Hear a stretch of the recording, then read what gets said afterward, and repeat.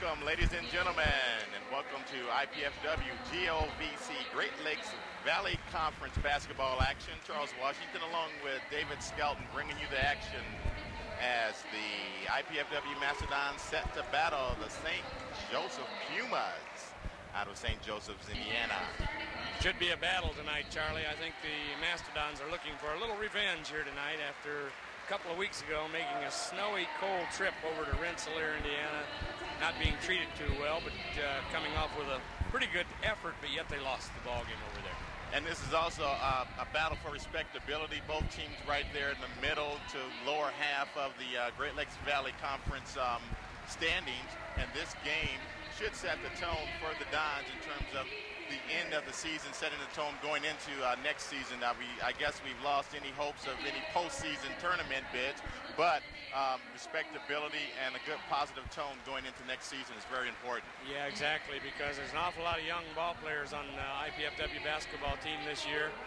And they won Thursday night. They've got a chance for two in a row here tonight, and they could win uh, four or five out of these last six ball games, which would really get them uh, on a giant step toward next year. That's right. And if there's any consolation, uh, we've lost um, some pretty tough games to some really good basketball teams. Real tough, yeah. The two conference leaders, Kentucky Wesleyan and Southern Indiana, were in here a couple of weeks ago. And uh, IPFW played both clubs very, very well. In fact, had an opportunity to uh, to win both ball games late in the game. Yeah, exactly. Uh, three teams, three out of the 11 teams in the conference uh, ranked in, in, the top 11 in the nation. Um, fourth, seventh, and uh, 11th, I believe. Uh, Wesleyan being fourth, I think Southern Indiana being seventh, and uh, Northern Kentucky, Kentucky 11. 11. Yeah. yeah, they're really burning up the league, too. And IPFW has a victory over one of them. And IPFW wins the tip. TJ Hollowell brings the ball up. Steve Sanders, Dane Adams, Southside graduate Ryan Bond. Turnover there on the right side of the court. IPFW played a real solid game Thursday night. They need to come out and get started well here right off the bat tonight.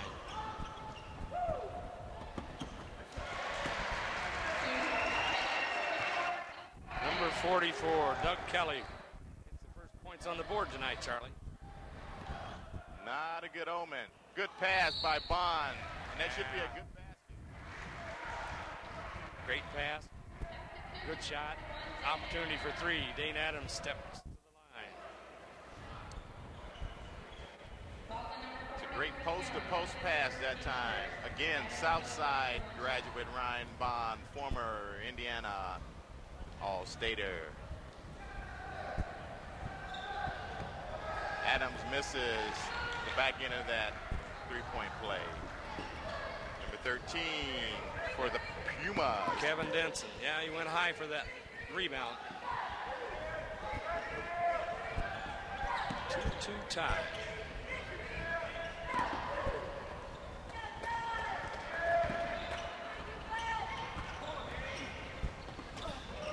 Shot falls short. Rebound Adams to Hollowell good to see T.J. Hollowell back in uh, the play here. Although he couldn't quite get stopped, drug that back foot, but he was out for a couple of months with that stress fracture. And he was playing very well um, at the time of that injury. Yes, he was. Very unfortunate to see that happen. But he's a freshman. He's a young guy. He'll heal fast and get back at it.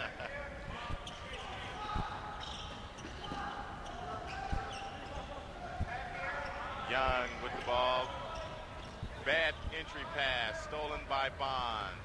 Young trying to get the ball that time to Bailey. Both teams with a couple of early turnovers. Good move. Steve Sanders in the lane. Two in the paint. Steve is a proverbial scorer. That's what he does best. And he's got all kinds of moves. And can shoot the three for a big guy. Good inside move that time by Denson. Denson coming into the game. Uh, averaging about 14 points a ball game. And that should give the Dons an advantage because they're without their leading scorer. 20 points a game they're without tonight. That was a perfect lead pass. Kevin Denson took it in stride and went up and jammed that ball through. Great pass that time, like Young to Rice. Right in stride. And as Ryan Bond does so often, he kind of squirms and scoots and shoots and it goes in. Great move that time. No wonder he's an Indiana All-Stater of a couple years ago from Southside. Transfer from Vincennes University.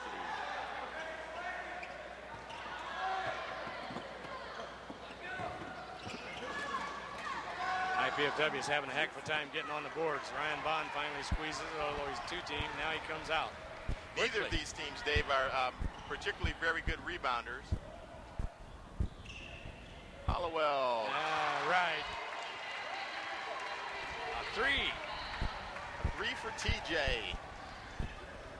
As I was saying, neither team uh, very uh, good rebounders, both coming in averaging about 32 or so rebounds uh, per game, and those are kind of low stats for the Great Lakes Valley Conference.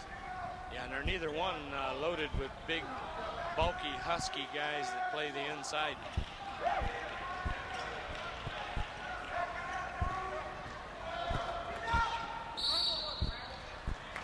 Nice defense that time. Steve Sanders wouldn't let him around. Dane Adams shut off the, the baseline, and uh, St. Joe got the happy feet. That's right, and Perkins kind of committed one of those sins that coaches tell the players never do. Never leave your feet, especially down there on the baseline. It had an extra defender. It was a double team, but actually the baseline serving as a third defender. Yeah, he had nowhere to go. Whirling to Sanders. Hollowell Denson not giving him that three this time. Whirling at the top. What do we have here? A hold? Yes, we do. Number 30, maybe? 20. 20. Walter Perkins. Yes. Don't say 30. That's Harry Perry. Those 20 Yes, points right. that, that aren't supposed to be here. And he better not show up at halftime either. Sanders shooting the air ball that time.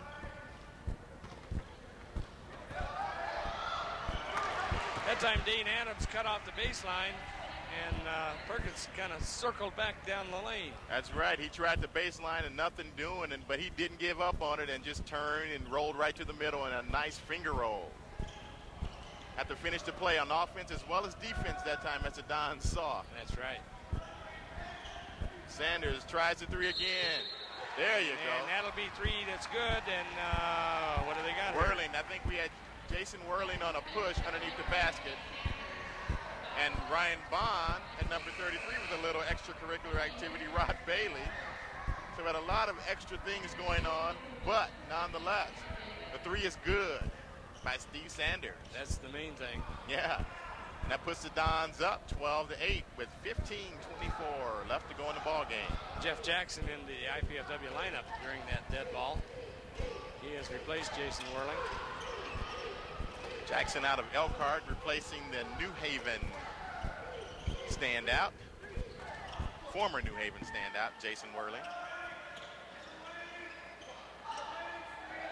Bailey to Denson. Perkins tries the lane.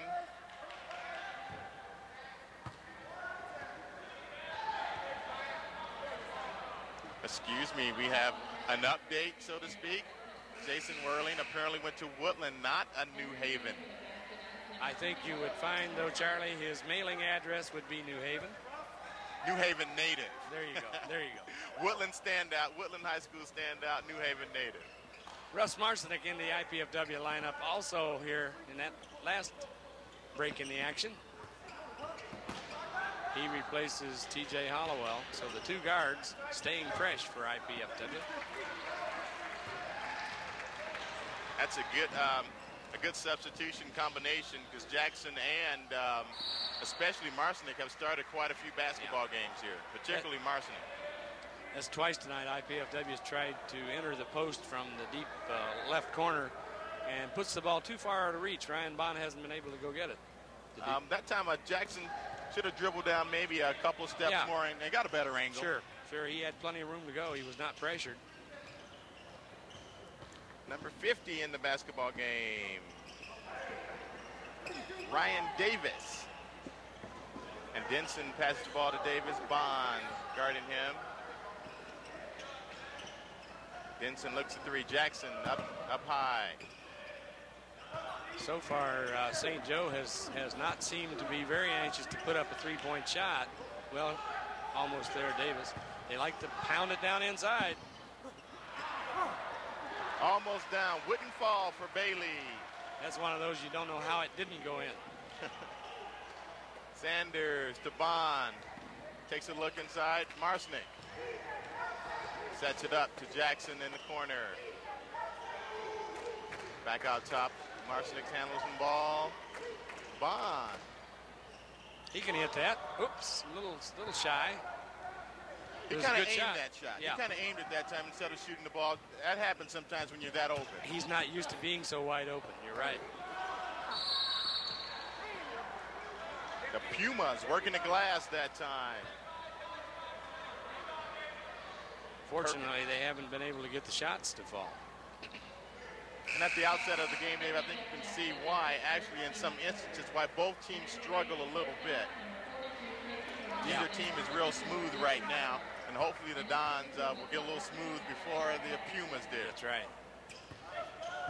Yeah, they both uh, come at you with a pretty tough defense and have a little trouble getting the offense going. First shot up and good by number 20, Walter Perkins. Again, he came in, coming into the game tonight, averaging right at 14 points a ball game. Denson. IPFW just wasn't quite ready for that rebound that time. Jason Burkhart went around the uh, pick rather than through it. Cost him two. That's right. That'll cost you that extra split second as we have a timeout. Timeout by the Dons with 13.05 left in the ball game.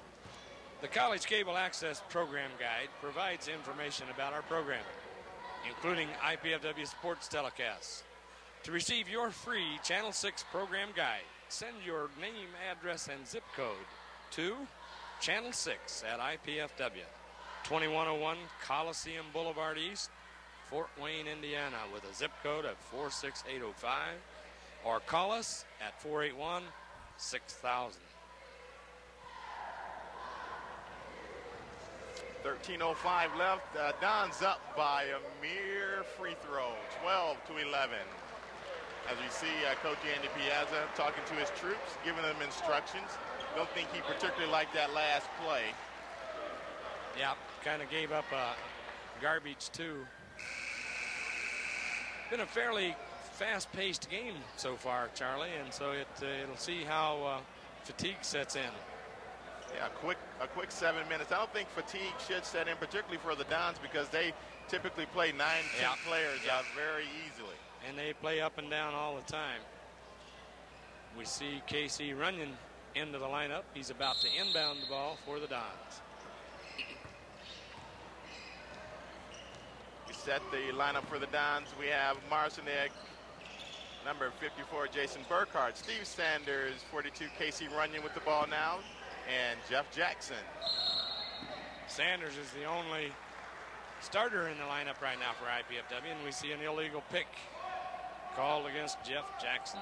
And that happens sometimes. The Dons that time were working that flex offense, which is uh, pretty difficult to teach and probably even harder to learn. Yeah. And sometimes with all the cuts that happen, uh, you're very apt to be moving on the screen sometimes. And for the first time tonight, they put on full court pressure didn't seem to faze the Pumas too much. Not a lot. Another miss by Bailey, but the rebound falls to number 35. Well, they're getting a hand on the ball, and they got to squeeze it. Right now, they're just getting out muscled in close to the basket. Somebody's got to do something about that. Mm-hmm. I think uh, not only is it being out muscled, they're being out quick to yeah. uh, a lot of yeah. those loose balls and particularly the rebounds. Just not alert. JB Showalter in for Casey Runyon and Ryan Glidden in for Steve Sanders. Steve Sanders getting his first rest of the evening. Glidden normally a starter. Well, it's kind of hard to say who's normally a starter in Coach Piazza's lineup, but Glidden has started quite a few games. A Division One uh, transfer from uh, St. Bonaventure University. One of the leading scorers for the Dons for the season. But he kind of hits those lulls, Charlie, where uh, things just don't go quite so well for him, and he doesn't work real hard to get out of them. Yeah, it's a 40-minute game, and not to mention Monday through Friday in practice. Absolutely. Another bad entry pass down the post for the Dons. The same pass a few moments ago that Jeff Jackson made. Thursday night, one of the things that really helped the Dons was that they were able to keep those turnovers down. And I tell you what, Dave, that's the key. Um, that's the key to basketball. Whether you're talking lunchtime or the NBA, if you can that's control right. the turnovers, at least get a shot. That's right. Get an opportunity. Because, at, hey, at best, you have a chance for a rebound. When you turn it over, you get nothing.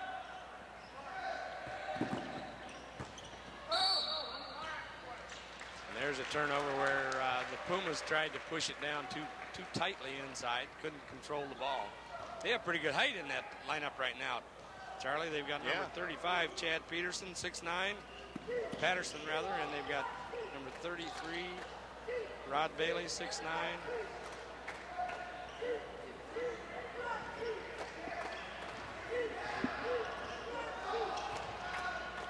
Nice move by Russ Marcinek. He couldn't get that shot to fall. Good move, knifing through the lane that time. St. Joe is on a six to nothing run here. Need to bring that to us. A quiet six to nothing. Yeah, run. it has been. Good defense that time by Jackson. I think uh, Perkins is down hurt, and we'll get a timeout as soon as possessions change. Jackson.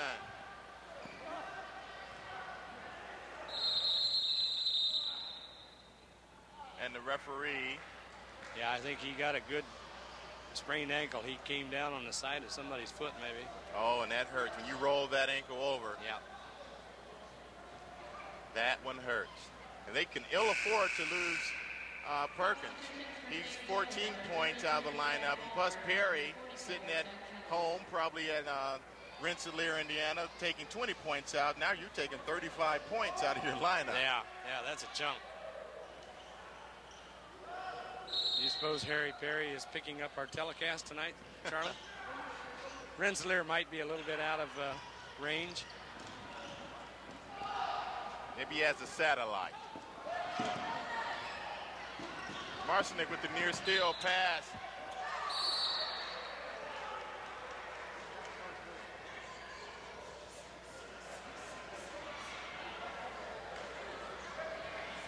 He called a kick that time. Yeah, well, the ball stayed in play, fortunately for IPFW, because they were going to have a wide open layup. Although he lost, he blew it, but I, he may have been. I think it was fouled. Yeah, he was fouled if the play had been good. So it was actually a break for the Dons. Rand Davis, 244 with a three-pointer. 19-foot shot, 18 and a half feet. Yes. And the Dons will take possession with 10-14 left here in the first half of the basketball game.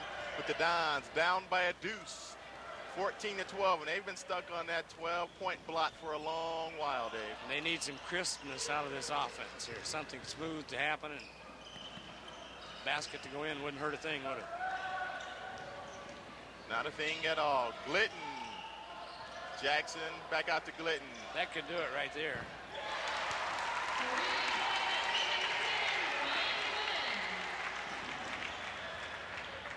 Ryan Glidden coming in, averaging close to 13 points. The Dons have three players right around 12 points. Good pressure defense that time, causing a turnover. And I think that's exactly what the Dons need. Whenever you're playing 10 players, there's no need to save anything. Uh, No. Keep the pace, keep it going, keep the trap going, and every now and then change that pace just to uh, throw the other team off a little bit. JB Showalter being replaced by Ryan Bond. JB came in and did a pretty respectable job. He kind of held his own on the boards in there a little better and stacked up the defense. That's what you want to come out a plus on the positive side. Good baseline move that time by Jeff Jackson. Yeah, Jeff surprised everybody, including his own teammates, that he uh, went ahead and took the baseline.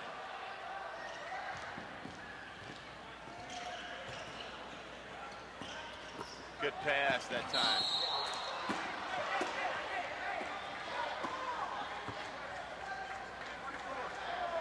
That time Jackson, uh, Jackson has to watch it, or any player has to watch that. Um, you can't show up the referee. If you show up the referee, they will give you a technical, and they will be on your case for the rest of the basketball game. I think after he pounded the floor four times, if he'd have said anything, even like, good job, ref, why, he'd have got tacked with one.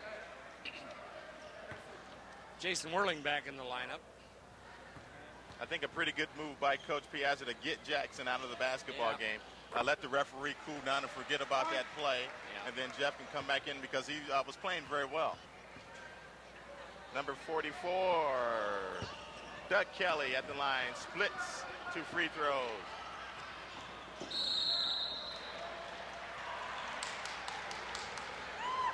That time, Ryan Davis for St. Joe was caught between a rock and a hard place. I'm not sure about that call, but I'm I'm not wearing the official stripes, so I, I well, don't know. I, I, guess they say the ball had been in possession in front court. And I guess that's what I question, uh, the true possession. Yeah. Looked like a loose ball, simple loose ball to me.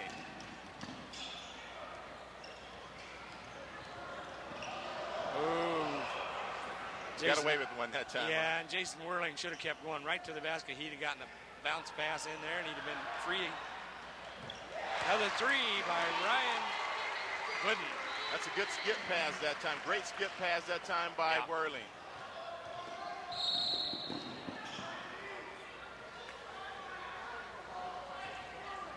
Pressure defense that time by the Dons, and they got about a half a step behind, and thus they had to draw a foul. They had Ryan Davis in a good spot that time, right on the uh, the sideline there with the two-man trap. You have to keep him there. You can't let that guy split that um, trap.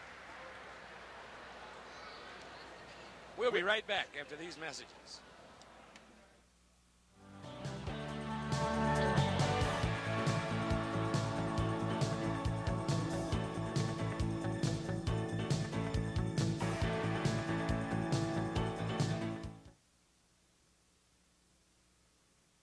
College basketball season is underway for 1994-95, and the Great Lakes Valley Conference has been rated by some as the toughest of the NCAA Division II conferences.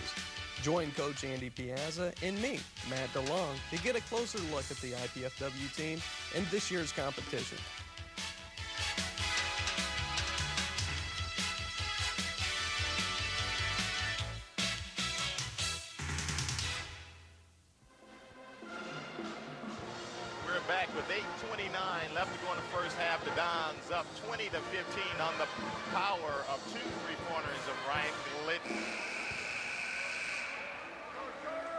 Yeah, those three-pointers brought them back. They had about a five-point lead a little earlier, let it get away, and then they were able to push it back up. So let's see if they can sustain the good defensive effort now.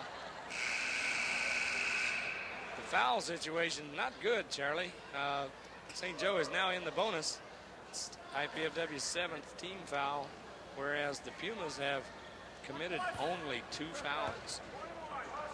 And thus far, it's pretty surprising we haven't seen Coach Piazza up complaining uh, too much about the foul situation.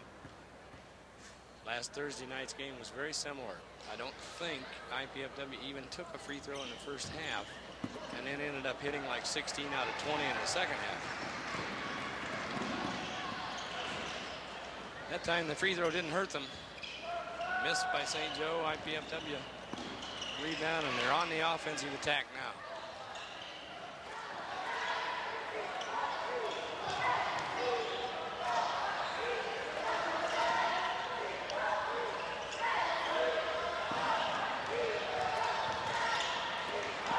Nice dish off by Ryan Glidden. Good pass. That's what hitting two three-pointers will do for you. Everybody's cognizant of your ability to hit the three-point shot, and you can get an open uh, alley to the lane and then just dish it off when the help comes.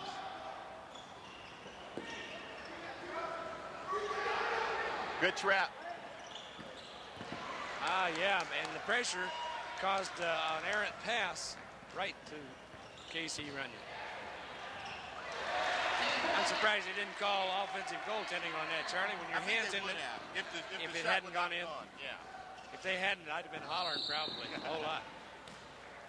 Good hustle that time by Glidden, but couldn't get there quick enough and commits the foul right over half court.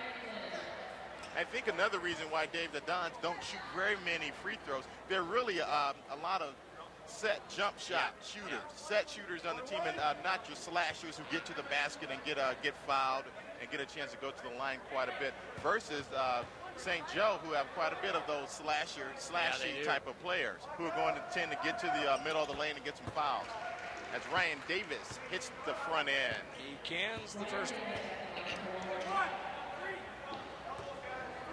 24-16 in favor of the IPFW Mastodons.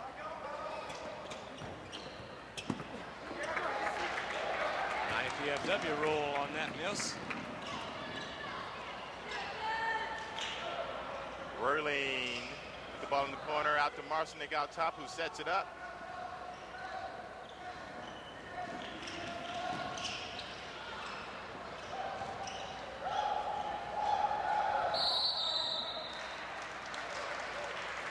Ryan Bond had good position that time, had the defense sealed off. And number 33, Rod Bailey, tried to go through him.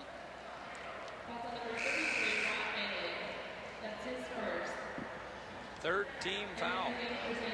I wasn't paying a lot of attention, Dave, and then when I heard you say uh, six nine and six nine, um, they're kind of small six nines out there for the Pumas. Well, maybe, yeah.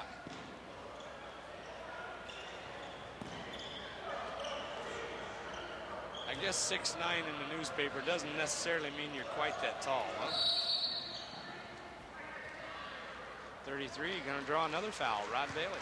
Yeah, and actually they could have called um, Patterson also for the uh, for the foul. Also, uh, they set some uh, setting some picks there, or not so much picks, some blocks, trying to keep Glidden from cutting through the yeah. lane. And yeah. Peterson got him with a shot, and then uh, Bailey got him with the shot. So the referee could blow his whistle and take his pick of the purple shirt that he wanted to call a foul on. Nice dish off. Wouldn't fall that time. And Perkins is back in the basketball game uh, for the Pumas. Shaking off that uh, apparent um, ankle, ankle injury. Yep.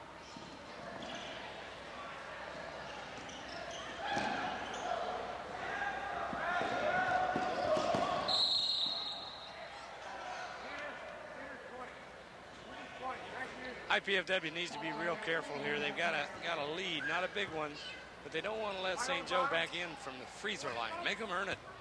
Exactly. It's very important what happens uh, these last five minutes or so, um, particularly the last three minutes of the half and then the first three or so minutes of the second half. Very key points in a basketball game. Well, Perkins took a long time to think about that one and got the roll.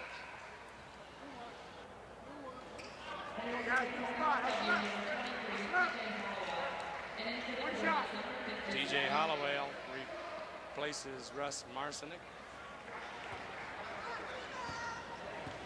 Both of these teams very young. They one senior on uh, both rosters collectively, or yeah. two seniors collectively.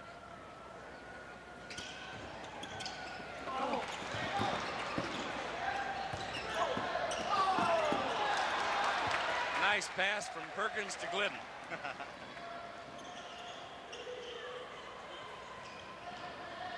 it's kind of like the quarterback having eight completions, but maybe three being to the other team. Yeah, nice move by Casey Runyon. I don't think we see Casey do that enough. No. Sometimes um, he's not as aggressive on that offense as he should be. Exactly. I think sometimes Casey um, is more of a perimeter player than he should be.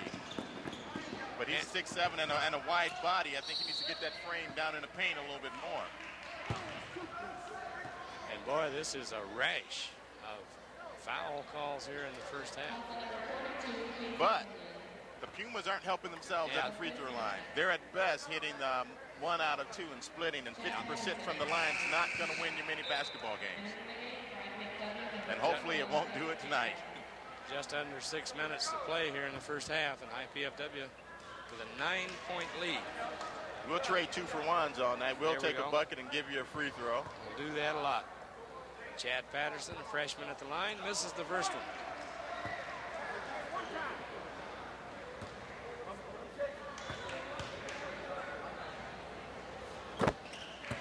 But there's your one for two. Now let's get the two. We gave him the right one. back. Let's come back and get the two. Uh-oh.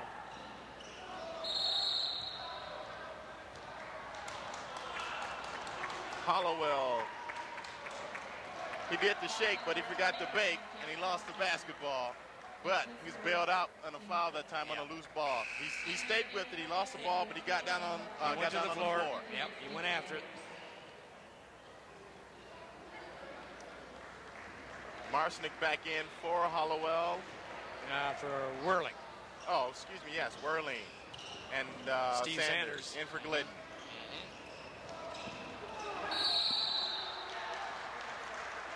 I'm not sure about that call. There was a lot of Uh, contact, but I think um, player was leaning a little bit. Yeah. And not only that, I'm not sure there was enough contact to knock him down. The old Bill Laimbeer flop move that There you time. go. Perkins brings it up. The left side, out to Davis.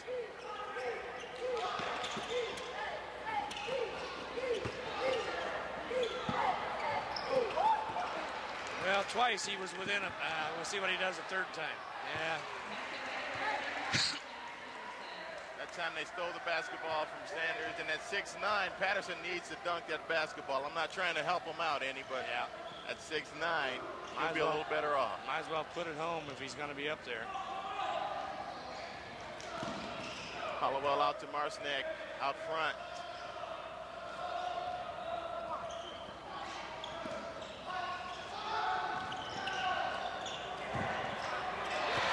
Shooter's roll for Russ.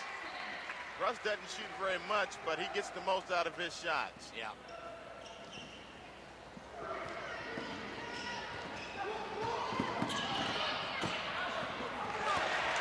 Good pass that time by Perkins, and again, he's he's visibly shaken uh, from that ankle injury. He's out there playing and giving it the best, but he's hurt a little bit.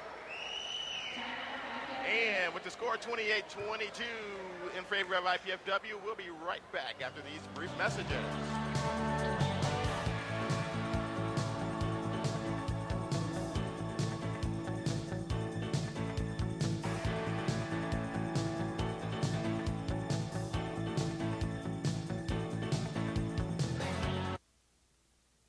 Basketball coach Pam Bowden is enjoying a fine preseason after coming to IPFW from the University of Alaska Anchorage. She has inherited a club which returns no seniors but still enjoys one of the top ratings in the Great Lakes Valley Conference. We want you to tune in every Wednesday at 7:30 to find out more information about the IPFW women's basketball team all season long.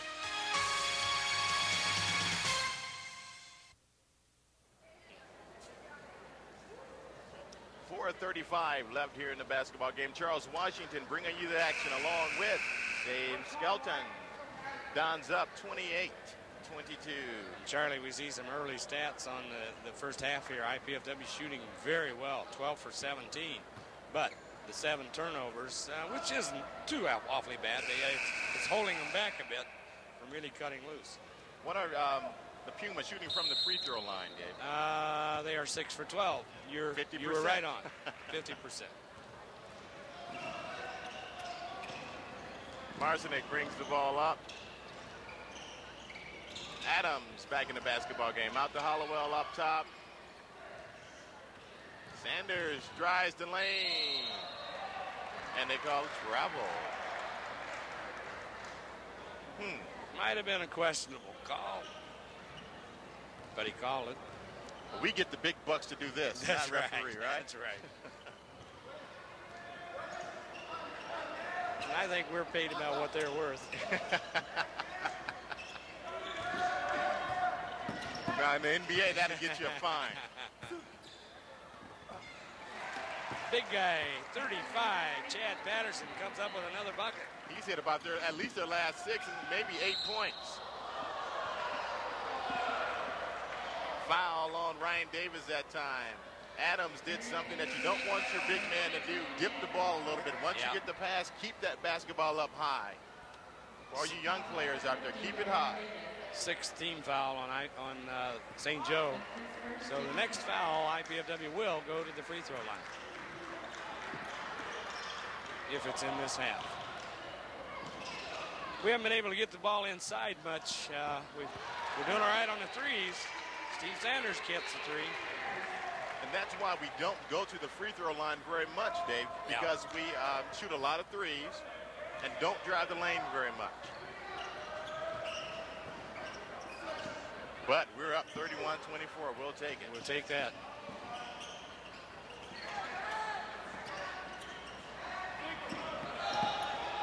Chad Patterson, a big freshman, hanging on with the ball, didn't know what to do with it. Threw it away.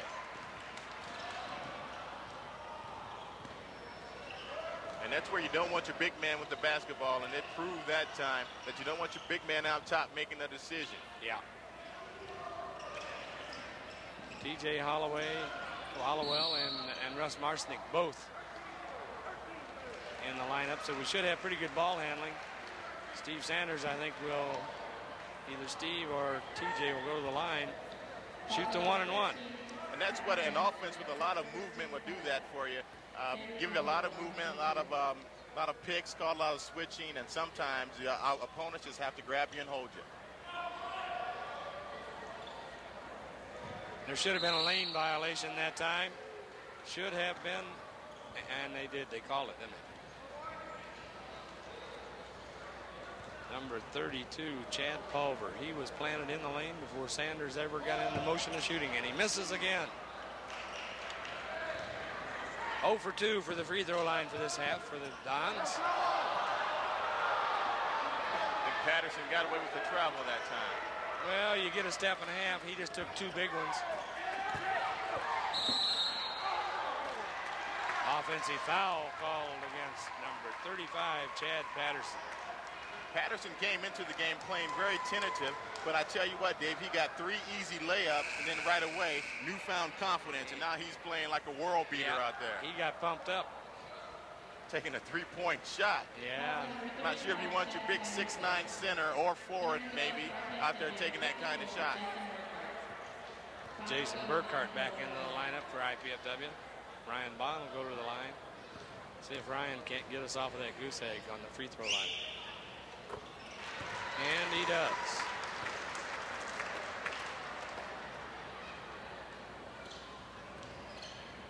I guess before I spoke, he shoot. He came into the game shooting 33% from out there. That's not terrible. Six for 18.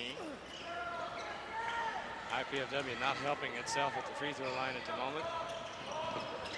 But they have an eight-point lead, 32-24 here with two and a half minutes to go in the half.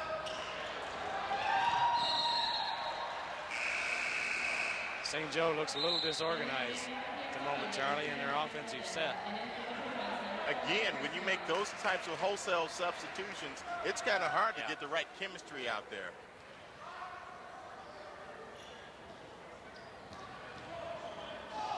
Jason Burkhardt with the ball in the corner to Glidden.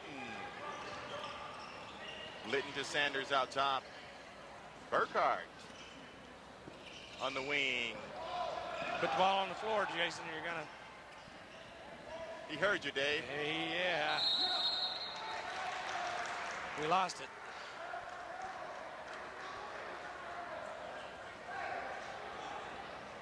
That time, Steve Sanders had absolutely nowhere to go. Three defenders and the baseline. Oh, and they called an offensive foul that time, apparently.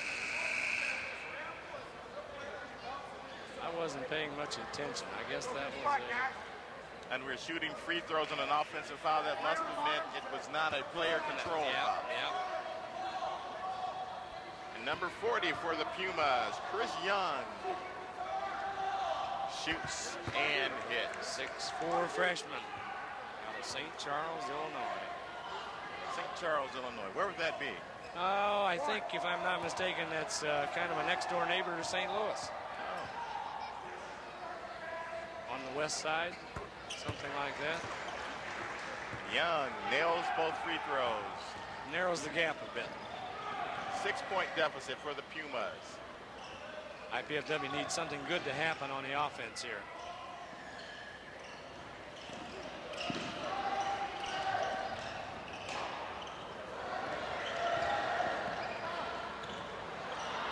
Good move, good follow. Second good follow.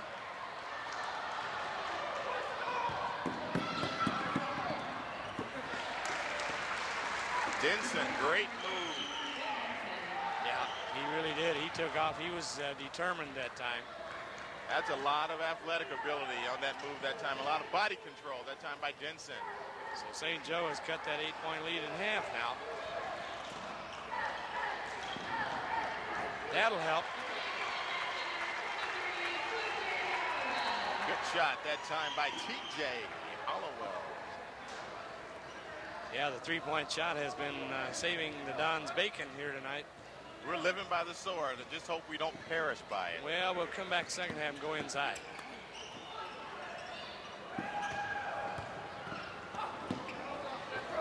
Ryan Davis misses the three. Jason Burkhardt with the rebound. Out to Marcinek.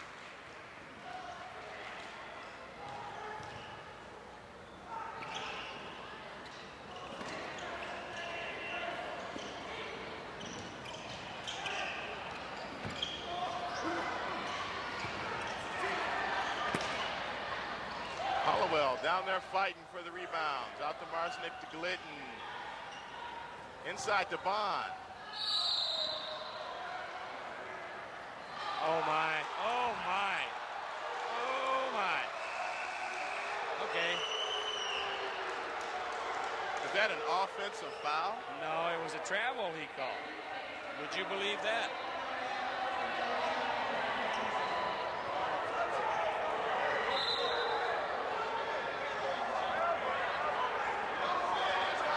Didn't argue very much. He kind of just well, so he, maybe he, yeah, did. he had the, early on. He he had an inkling that he maybe he shouldn't say too much.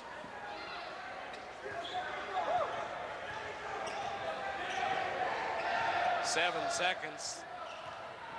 Pumas are going to go for a last, and that should be. I thought he had his foot on the line. They called it a three-pointer. They called it a three. And as the half ends, the Dons clinging on to a narrow, but indeed a lead. Four yeah. points, 35 to 31. In that first half, Charlie had some uh, stretches to it that were very, very ragged. Some other stretches where some things went pretty well.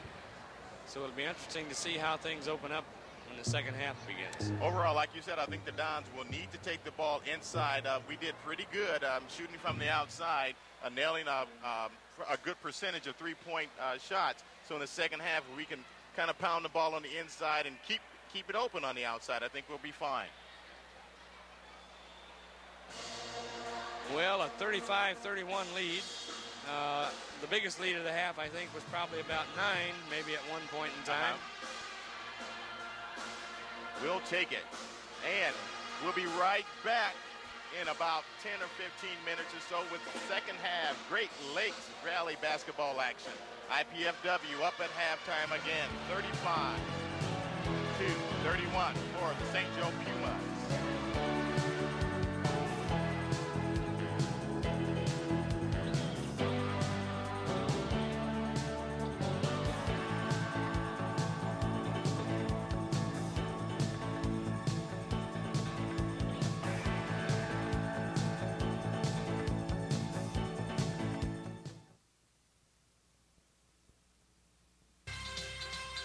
First-year IPFW women's basketball coach Pam Bowden is enjoying a fine preseason after coming to IPFW from the University of Alaska Anchorage.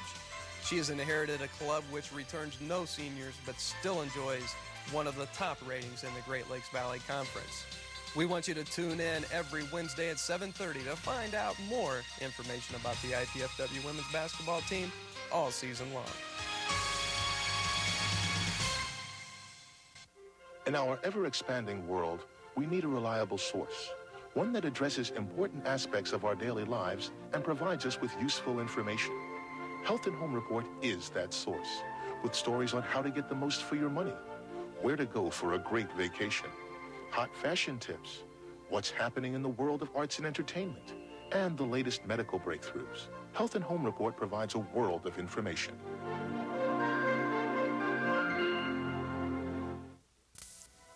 The college basketball season is underway for 1994-95, and the Great Lakes Valley Conference has been rated by some as the toughest of the NCAA Division II conferences. Join Coach Andy Piazza and me, Matt DeLong, to get a closer look at the IPFW team and this year's competition.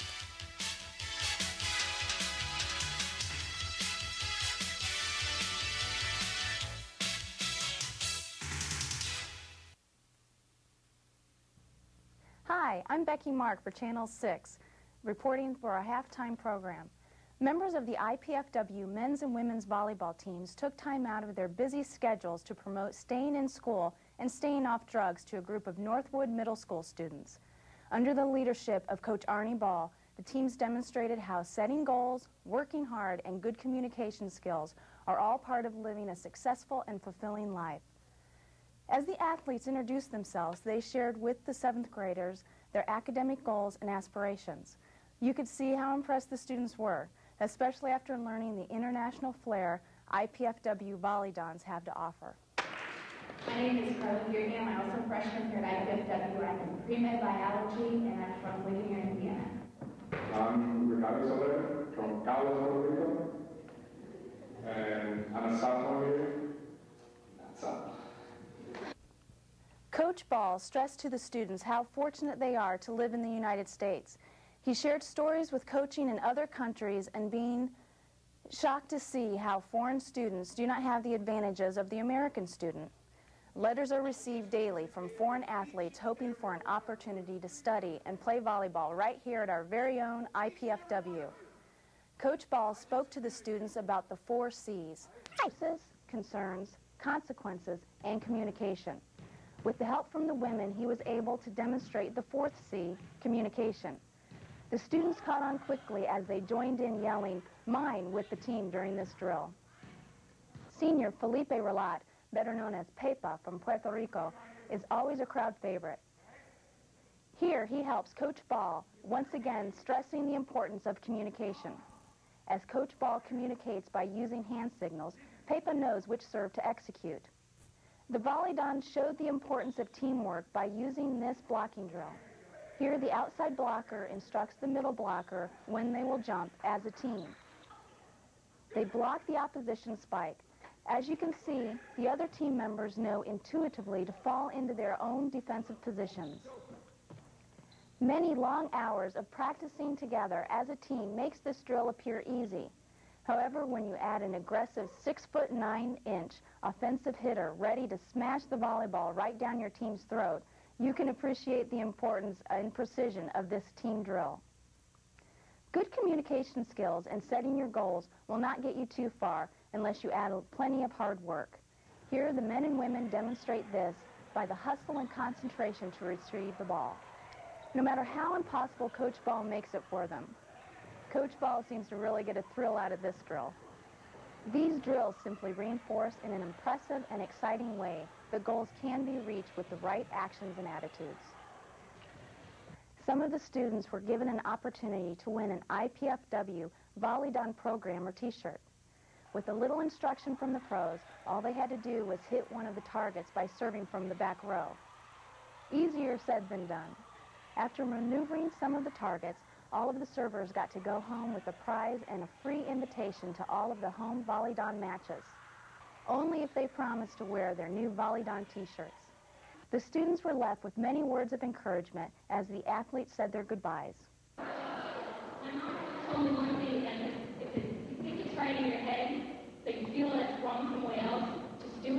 Right, no matter what. You have to do what you think is right in your own mind.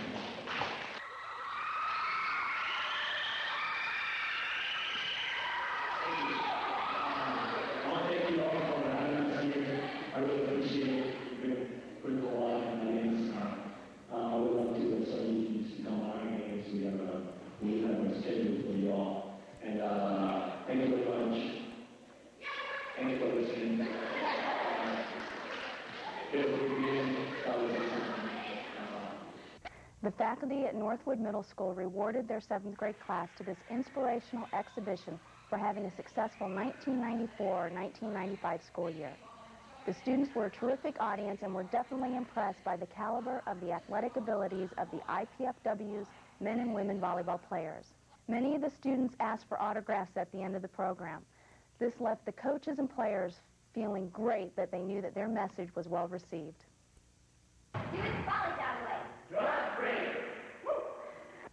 IPFW's Chancellor, Michael Wartell, was proud to announce Tuesday, the 14th of February, that Stanley Butch Perchin has been named the new Director of Intercollegiate Athletics for the university.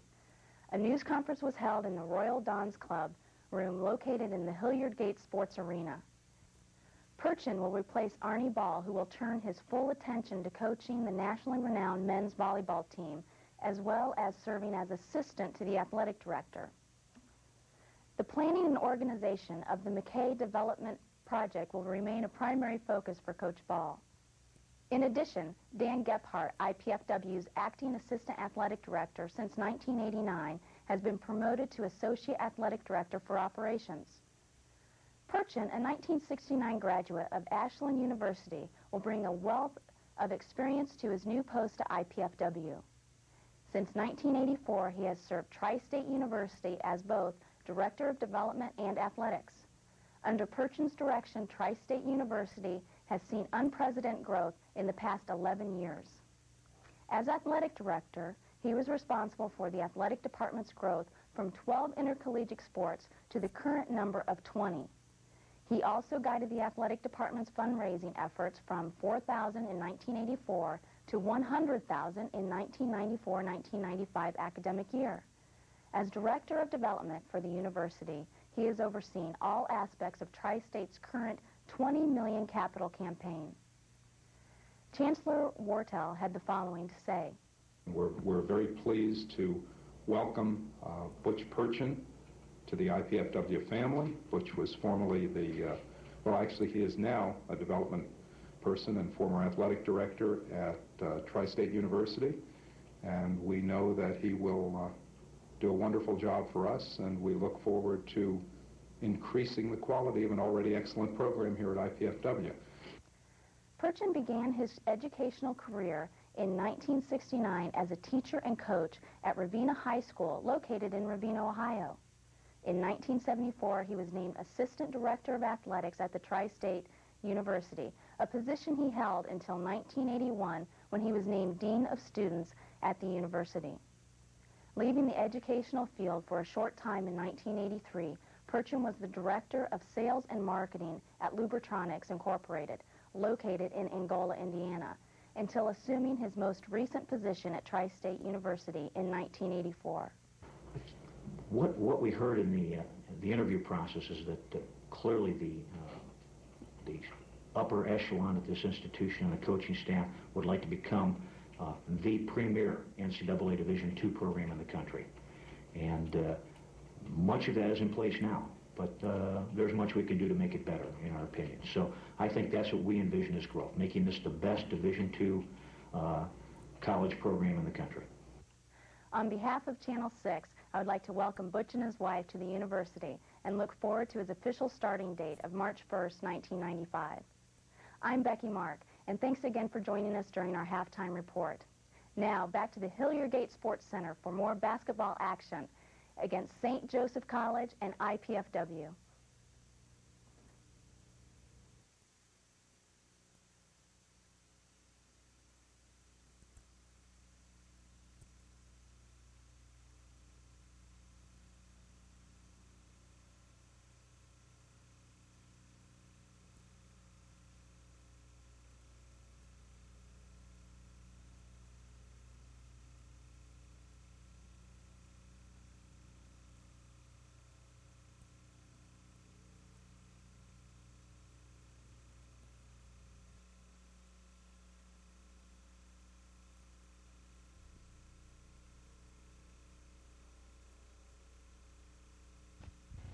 Hello, I'm Arnie Ball.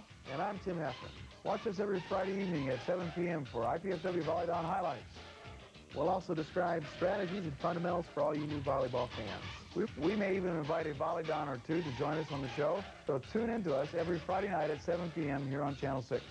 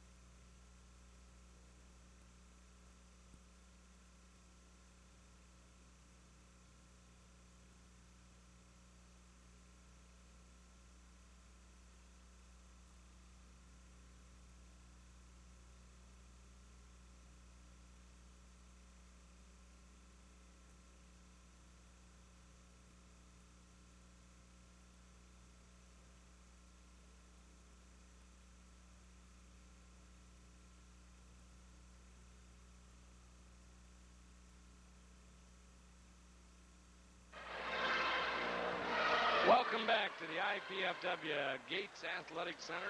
Second half action about ready to start here, Charlie. And as we look at the statistics, some very interesting things. IPFW has shot exceptionally well as a team. 67%, 14 for 21. But they had 11 turnovers, and they were out-rebounded pretty badly.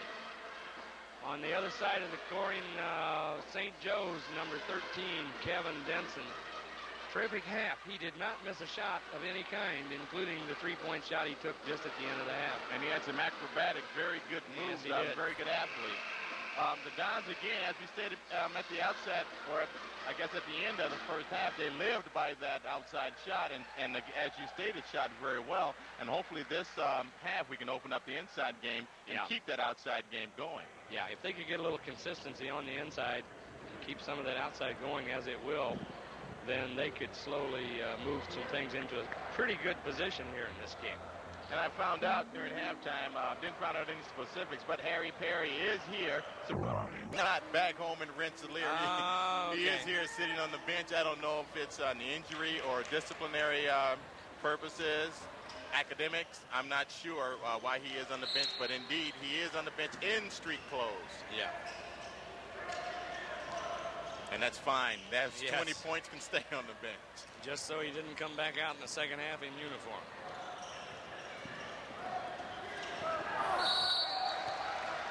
And Denson has still yet to miss a shot, and he's going to the free throw line to try and complete the three-point play.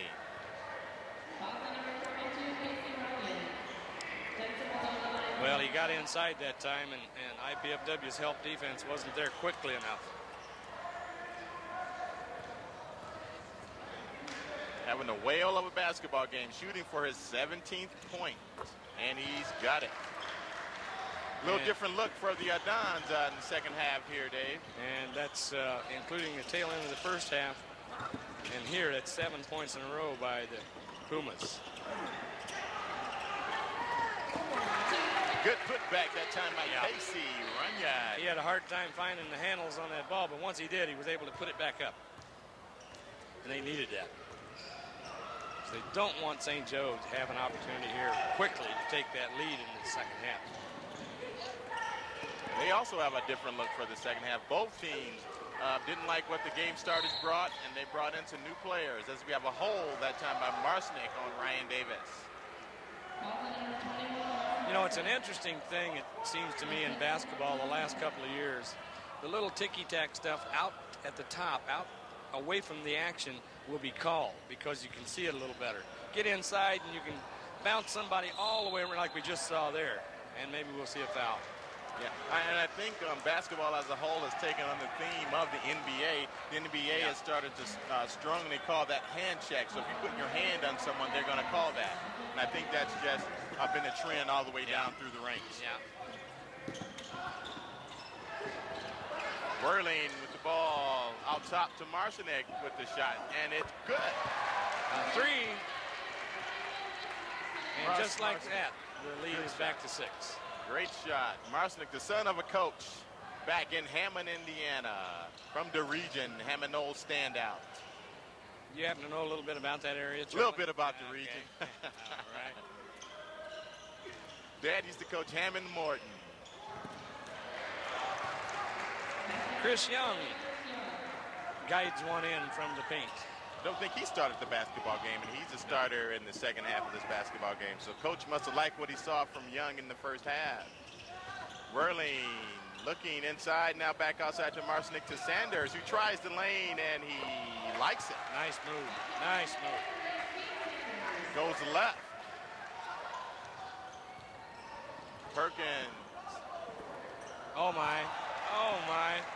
That's a lot of contact. Yeah. Perkins' ankle must feel a little better. Has to feel real good after that one. Sanders hard off the backboard. Inside to Runyon to Marcinek.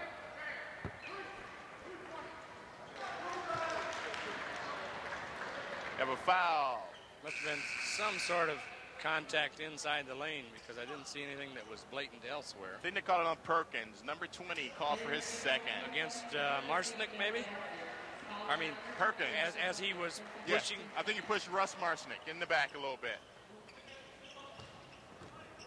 I lost my sound. I can't hear Charlie. Runyon outside to Jackson, a new insert into the basketball game. Corner to Bond. Sanders recovers. Sanders handling now top.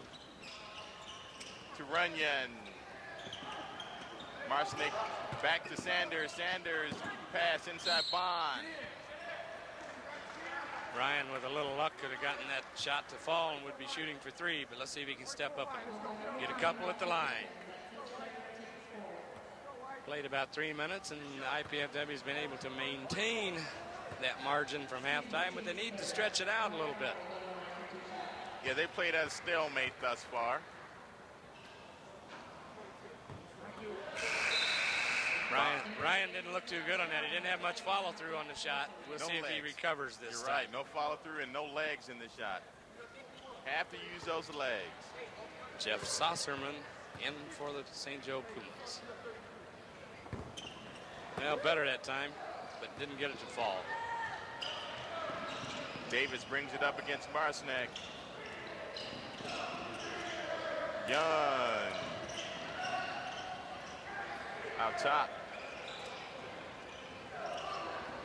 Jensen. Drives baseline. Good move. And he missed a shot. News for the day, right? Yes, yes.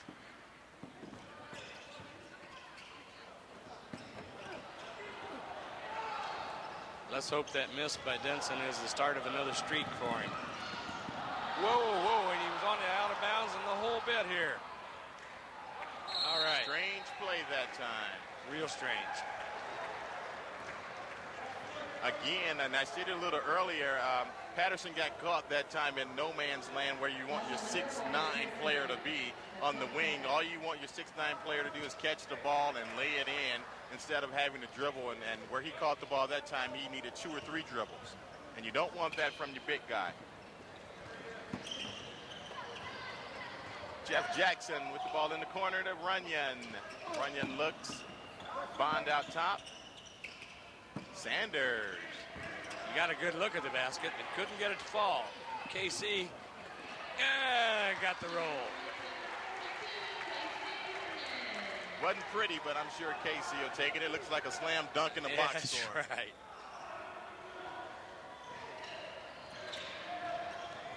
Don's up by six with 15:45 to go in the ball game. 44-38.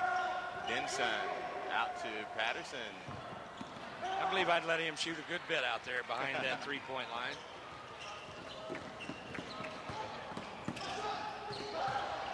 He hurt us inside, but he hadn't hurt as much from out there, so I think you're right, Dave. Sanders thinks about it, thinks twice, passes it inside. Bond.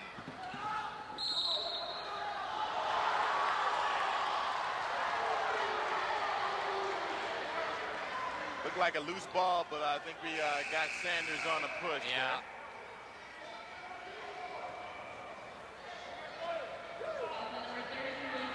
Team foul number three on the Dons. Jason Whirling set to re-enter the basketball game. And I think Sanders will exit. Probably will, because that's his third foul, and we're 15 minutes yet to go in the ball game. Why? Coach Piazza won't want to risk it, and he'd be getting a breather somewhere along the line soon anyway.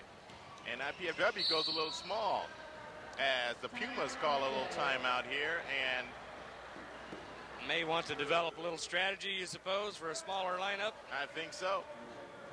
Well, you too can join in the excitement of IPFW athletics by participating in the Royal Dons Club. The Royal Dons Club is the official booster club for IPFW's athletic teams. Members enjoy priority seating at all IPFW sports events, food and refreshments in the hospitality room, and admission to the IPFW sports media luncheons. An association with other Mastodon supporters, just to name a few benefits. For information on becoming a member of the Royal Dons Club, call Jan Walco at 481-6642 or write to Royal Dons Club, 2101 Coliseum Boulevard East, Fort Wayne, Indiana, with a zip code of 46805. And I think just as we stated, uh, um, Puma's calling a timeout to set some strategy. And during the timeout, um, Perkins entered uh, the lineup. So again, they are adjusting to the small lineup ah. by PFW. And we'll see how long uh, Coach Piazza goes here with. Well, he's got two pretty good sized guys though that he can play the inside with.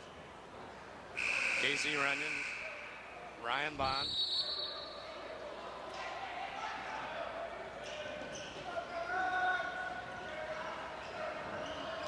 Davis brings it up against Marcinek. In the corner to Young. Number 44 in the ball game, Doug Kelly.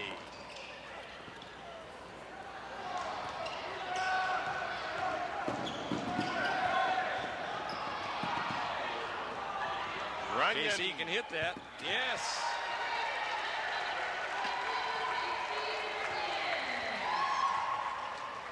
KC can definitely hit that shot as you just saw, but still, I'd like to see him uh, bang a little bit more. Yeah. I'd like to see this defense stay pretty good. The Dons have really been going at him here in the last couple of minutes. Young got to Davis. IPFW is almost into a uh, zone set. And Perkins takes advantage of a smaller Jason Whirling on the baseline. I think the Dons uh, looked like it did look something like a matchup zone of, of some yeah. sort there, Dave.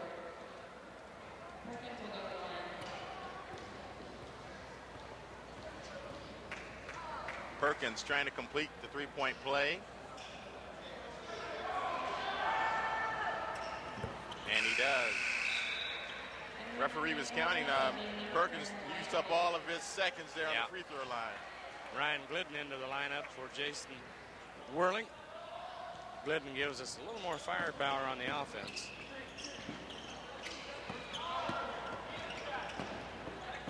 Runyon out top. Bond. Back to Runyon for another. He's going to try it again. Why not? Same spot. He's got an X marked out here. You just can't see it, Charlie.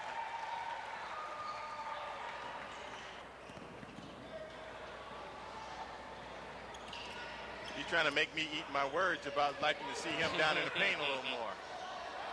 Well, if he'd hit a couple more threes, would that be right? And then he could go down into the paint?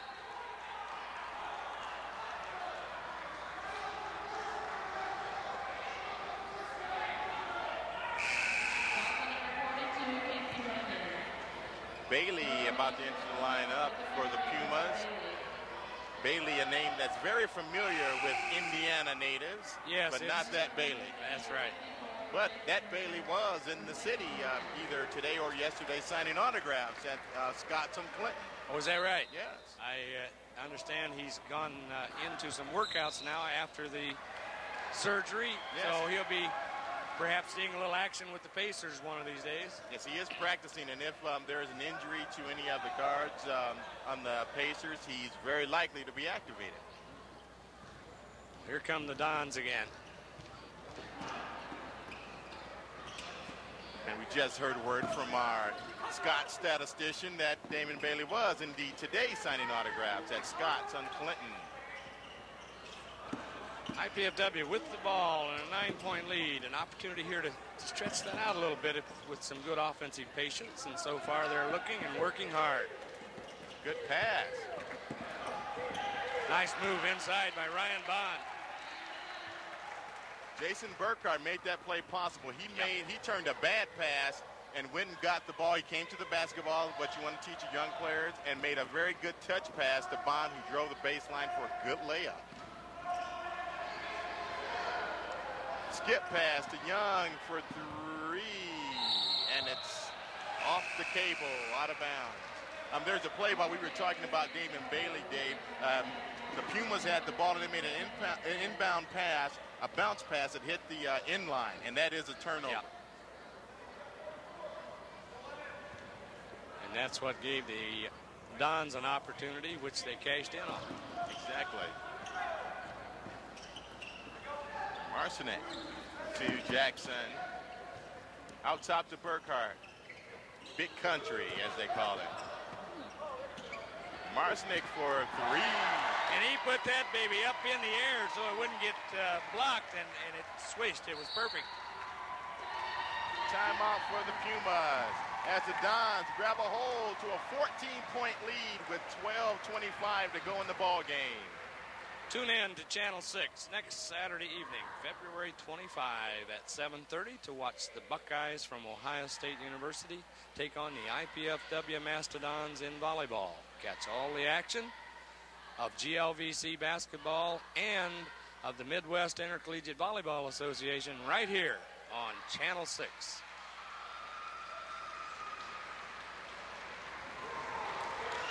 Pretty important at this stage of the game, Charlie, with 12 and a half minutes to go. The, the Dons have stretched out a, a, a little lead here. Pretty important for them to keep playing with some consistency and not let Pumas get back in the ballgame. Exactly. Uh, sometimes some teams that uh, grab a big lead have a tendency um, to put themselves to sleep. Uh, they figure, hey, we have a big lead. We can kind of, you know, rest on our laurels. And sometimes they let other teams back into the basketball game. And as you stated, it's very important that the Dons don't do that in this case. That they come out very hard after this timeout.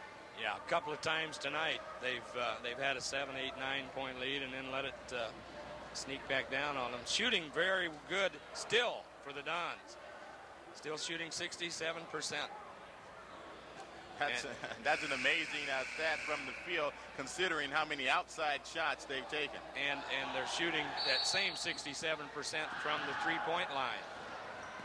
And again, the Pumas have trouble after calling a timeout. I think the referees are telling them they're taking too long, and they're starting the five count as the Pumas are still coming out of their inbounds huddle.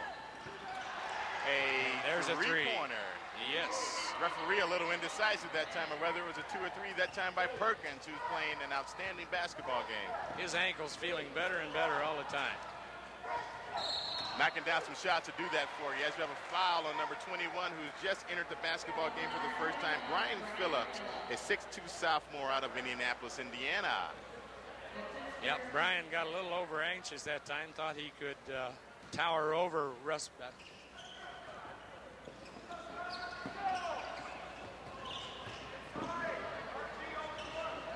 Jeff Jackson. Jeff got a little careless again with that entry pass to the post. That's, exactly. That's um, we know what Coach Piazza is going to have Jeff working on in practice. Yeah. That's the second um, entry pass to the post that Jeff um, is kind of fuddled up today. Yeah, he could take a couple of more steps before he ever has to put it in there. That's a two. Another missed shot by Denson. He's cooling off.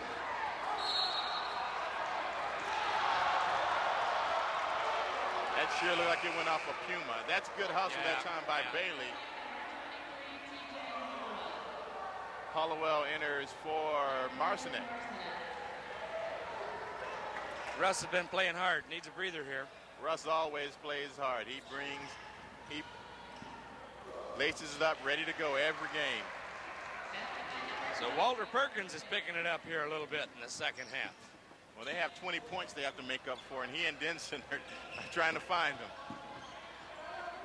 Those 20 points coming from Harry Perry, who's on the bench in street clothes. Burkhart fakes the three. Hollowell takes it. Well, that three is still there. That's, Hallelujah. that's a third, at least a third one for Hollowell tonight. Yeah. Playing well. Perkins got a little careless that time. He wanted to give his playground one-on-one move yeah, and exactly. Uh, carried the ball. I was just going to say, they don't call that on the playground. That's a good move. That's right.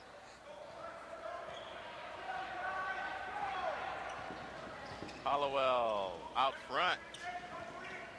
Looking for somebody to pass to, and he finds Glidden. Glidden to Bond.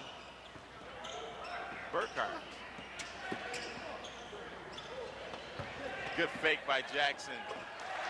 Yeah, Jeff gets in and gets uh, close to the shot that he knows he can hit. Doesn't take the outsider. He's not a great three-point shooter. He works hard for a good shot. And that's part of being a, good basketball player, Exactly. recognizing your strengths and knowing Yeah. what you can and can't do, finding that range. Patterson with Bond on him. Bailey.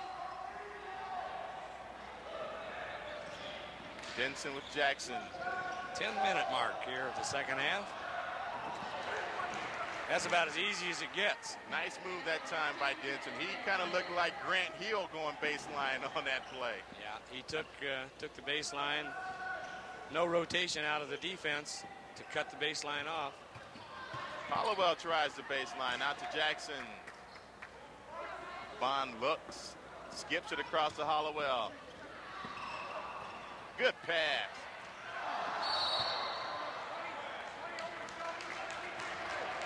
That's a great pass that time by Yeah. Hollowell. He had the open shot, and some may say he should have taken the shot, but you can't miss a wide open big man because if you don't get the ball to a wide open big man, they'll start rebounding and running the floor for you. Yeah. There, there we see the uh, Great Lakes Valley Conference standings for the men. Kentucky Wesleyan, Northern Kentucky, and Southern Indiana, all three out in front. Indianapolis having an awfully good year, Charlie, but they're going to have a tough time uh, getting into postseason play because there's three great records ahead of them. Exactly, and there are only four teams from the region, uh, the Great Lakes region, that go to the tournament, so they're going to have an awful tough time getting there. It's going to be very tough to take four teams out of one conference um, to the tournament. Patterson. Big guy. One out of three. That's just 33%. He came in Yep. six for 18, and he's one for three tonight.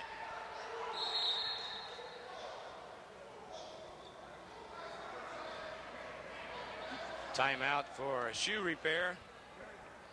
Now TJ Hollowell is ready to go. Jeff Jackson better look back to help bring the ball inbounds. 9.06 on the clock. Nine point lead for the Dons. Hollowell playing very well.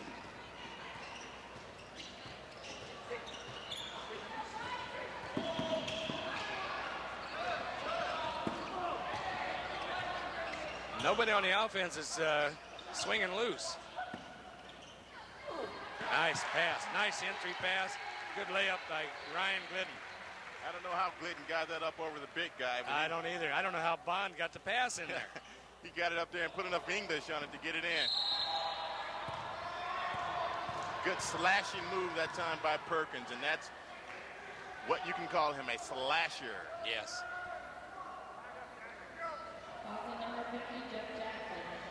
Fifth, fourth foul on Jeff Jackson. Sixth team foul against IPFW. Steve Sanders getting ready to enter the lineup. As is Russ Marcinek. Hollowell and Jackson exit, and both have played very good basketball games tonight. And they'll see some more action before this one's over, I think. Any coach would reward good play. And those two have certainly exemplified that this evening. Walter Perkins from Orlando, Florida. That's a long way to Rensselaer, Indiana. Yes, it is. And about 60 degrees difference in winter temperature, too.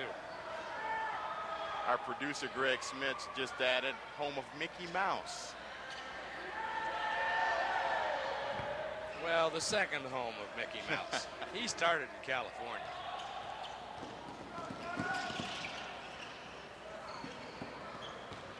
Marcinek out front with Perkins all over him. Gets Good out of the corner. Good decision not to take that baseline because he was going to get eaten alive. Glidden to Bond. Skip pass to Marcinek.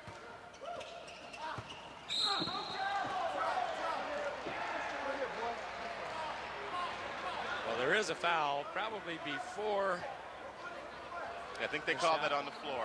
but It will it'll be a one and one. So hit that first one and it'll be academic.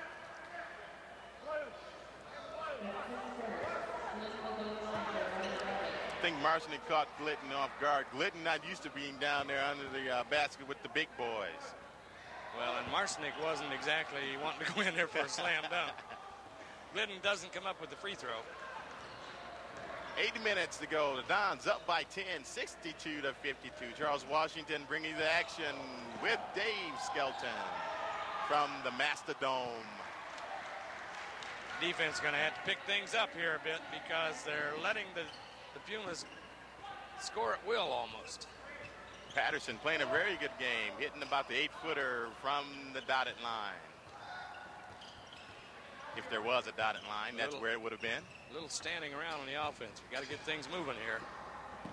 Sanders.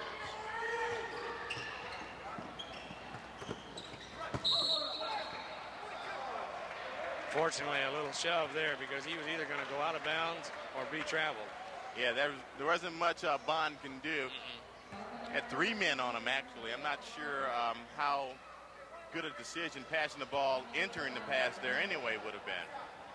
He could have dished off, but it didn't look like anybody was was alert enough for him to be able to dish off to them. Exactly. either. We're not moving uh, very much. You have uh, one person dribbling around a little bit, one person cutting out top, and other than that, you don't have very much movement. Big free throw by Ryan Bond at that time.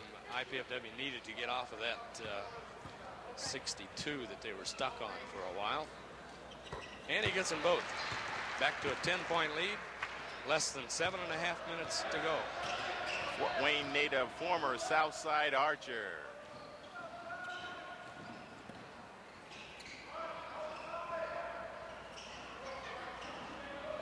Davis.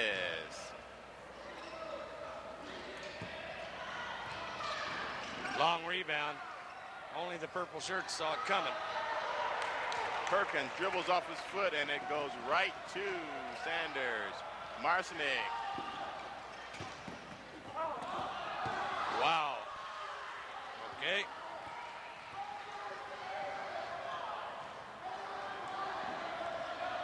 I, sus- I suspect Coach Piazza will be very hoarse after this game tonight because he's had plenty to uh, yell about. Actually, it seems he's kept his composure pretty well. Yeah, he has. Sanders. Come on. Well, I tell you, I even had my bifocals focused in on that one. I missed it, Charlie. Well, I thought the call would have been a very late travel. I Well, thought yeah. Sanders may have traveled, but it would have been a very late call, and I certainly didn't see the foul either. Maybe it was because the guy was hanging on him. Maybe they're evening out from the first half, Could those be. foul calls. Sanders goes in the line and nails the first one. And the next foul, it'll be two shots anyway. Yeah. So after this, it won't matter.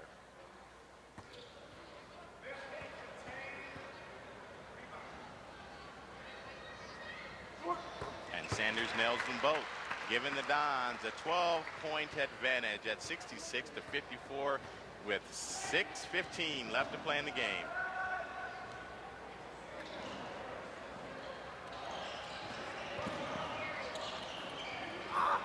Denson with a good acrobatic move, but it comes up empty. and a save to the white shirts. They've got the numbers. They better watch though, because if they don't, all right, couldn't quite handle the ball. That probably should have been a bounce pass that time Yeah. by uh, by uh, Russ Marcinek. Ryan Bond thought so too. Yeah, I just saw his hand motion. Bounce it, Russ. Bounce it, baby. If it could have been down where he could handle it. We're under six minutes.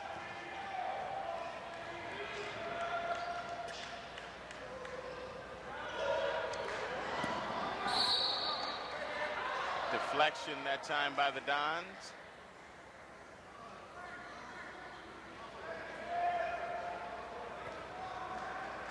Pumas will take the ball out of bounds, trailing 66 to 54.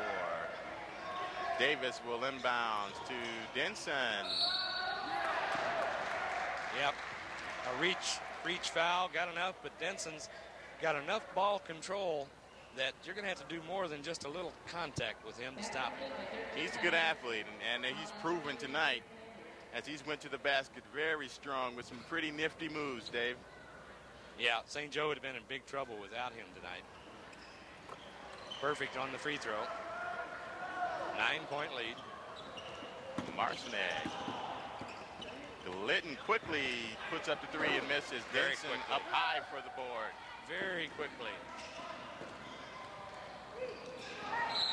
Another deflection that time. Good defense that time by the Don. Yeah, good thing Russ Marcinek got his hand on that because Ryan Bond was had gone for the steal and the Pumas had the numbers. If they could have gotten the inside, we'd have been in trouble.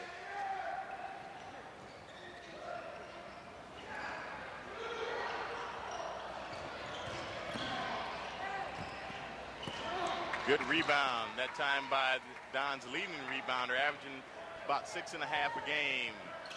Ryan Bond.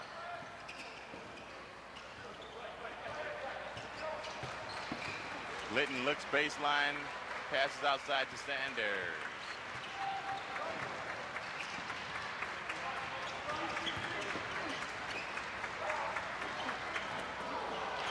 Can't get one to fall right now. We're inside of five minutes, so they're going to have to get some a little more firepower. Can't run the clock out yet.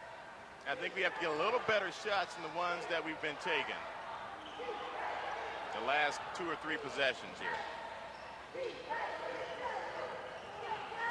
Good defense. Ryan Glidden was alert, tipped the ball loose back underneath. Now we need to see some offensive movement out of the Mastodons. You've had quite a few uh, Don players play very well, Dave. It's going to be pretty hard to find a, uh, a player of the game. Yeah, it could be. We may, uh, although there's been several make some contributions here tonight. Maybe one of those intangible nights, someone that's Might added be. the right spark Might and be. not directly look um, at the stats.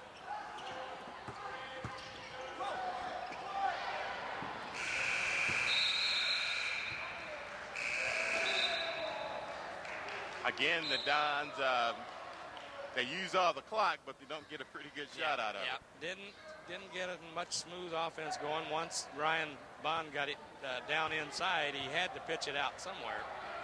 Just under four minutes. Whoa, travel. Oh my. Oh wow. Okay.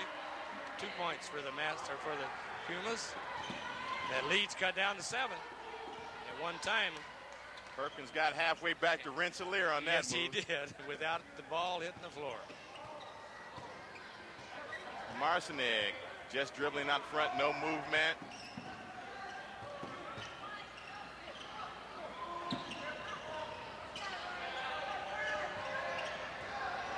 Nine on the shot clock, so they've got to start looking now for the good shot. Russ is going to have to take it. And again, didn't draw iron. And not getting back on the offense, or, uh, defensive end. Maybe time for a timeout.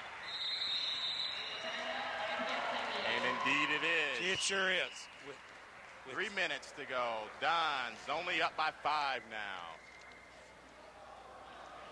The IPFW men's tennis team is selling $20 worth of pizza savings from Pizza Hut for just $3. The coupon books are available at the IPFW athletic office from 8 to 5 Monday through Friday, or you can stop on out to any IPFW athletic event during the month of February and pick up one of these booklets at the concession stand. By purchasing this coupon book, you will help the IPFW men's tennis team raise funds for scholarships for the 1995-96 tennis season. So buy several sets and help the IPFW Tennis Scholarship Fund at the same time. These coupons are valid at any Allen County Pizza Hut restaurant.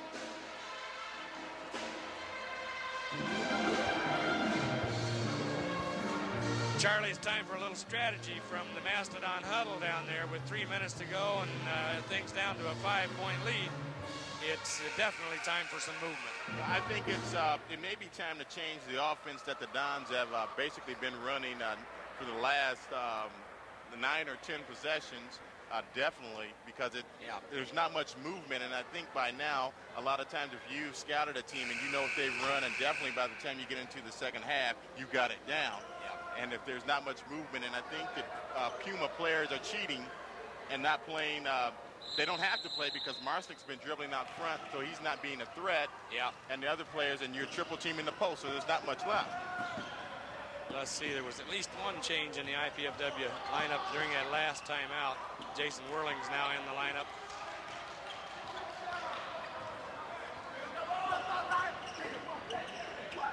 Whirling. Oh, what a big basket. A three. What a big one.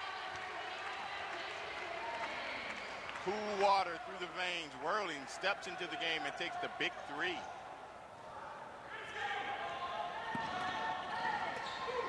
Denson for a three, and he misses. And a foul on number 32, a pushing foul on Chad Pulver of the Pumas. That'll send Ryan Bond to the line, I think. And Ryan. Excuse me. They, okay, it was on Pulver. Yes.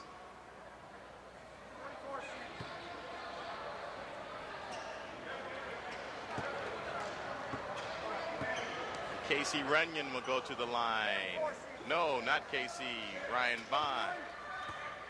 Casey must be a better free throw shooter and tried to sneak in there.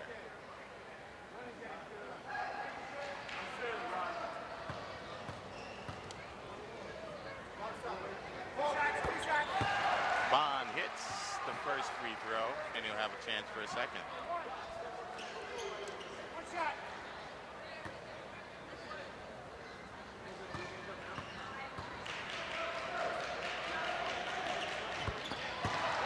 Two big free throws by Ryan. Steps up there, and he's hit uh, these last four that I can remember for sure. Just a little over two minutes. Perkins out to Denson. Ryan Davis.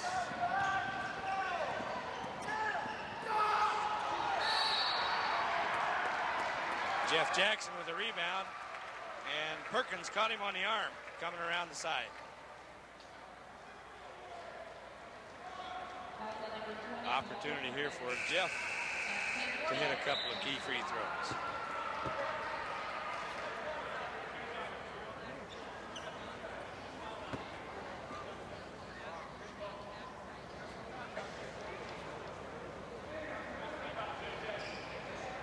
Fifth foul number 20, Walter Perkins. He's being replaced by Chad Patterson, big six-nine freshman. IPFW is now into the two-shot foul on every foul. Oops, and Jeff needs the two because he misses the first one. That's what that rule will do for you. That was instituted a couple of years ago, Dave. After um, the 10th foul, first of all, seven, you shoot the one and one, and from seven, when you get to 10, you shoot two free throws automatically. Hopefully that was instituted to cut down some of that last minute fouling, fouling. at the end of games. Yeah. But actually, I don't think it's affected that very much at all. Patterson misses another three. Jason Whirling very alertly after the ball. Get out of there, get out of there. Oh, oh, yeah, yeah. Isn't that one of those you say, no, no, yeah. Hey.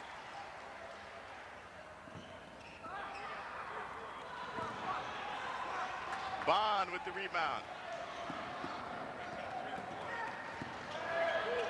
Whirling out to Marcinek. Don's up 14 with minute 15 to go. Whirling.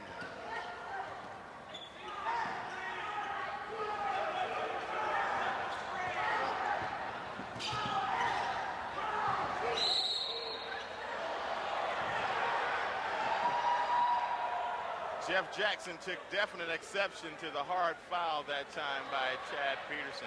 And we do have intentional foul, which will mean two free throws and the basketball out of bounds.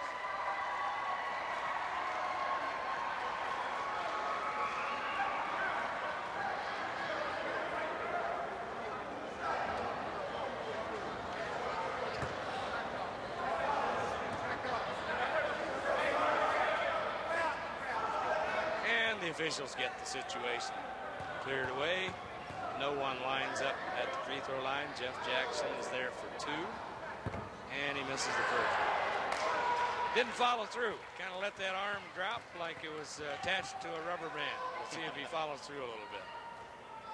Much better. Got to roll. the shooter's roll. Yep. 76-61.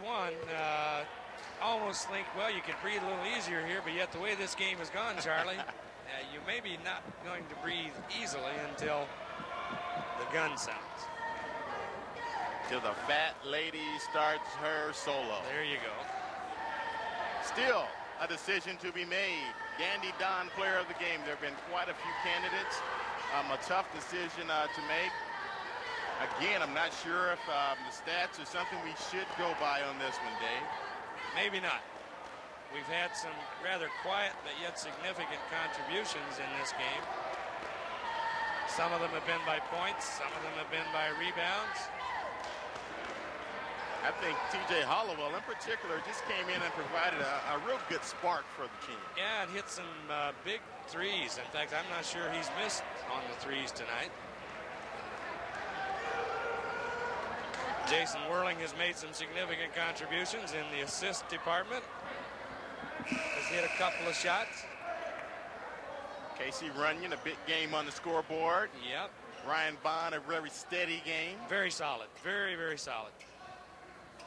Russ Marcinek, very steady as usual, yep. and he's knocked down a few three-pointers yep. tonight. Have an offensive foul. That's a that's a uh, makeup call. I think the referees, there's about a little bit over a minute to go, and the referees have to be very careful to keep this basketball game in control. It's a 15-point basketball game, and frustration could very easily set in for a yeah. team like yeah. St. Joe, a very young team. So the referees have to grab a hold of the control of this basketball game to make sure there are no major altercations. Denson nails the front end. I think he's been perfect at the free throw line tonight. If he missed one, I must have uh, maybe forgotten it. I would say they have a very bright future um, ahead of them. Uh, Perry, who's not playing, is, is a senior, uh, but Denson and uh, Perkins, uh, I believe, are sophomores and very good-looking ball players.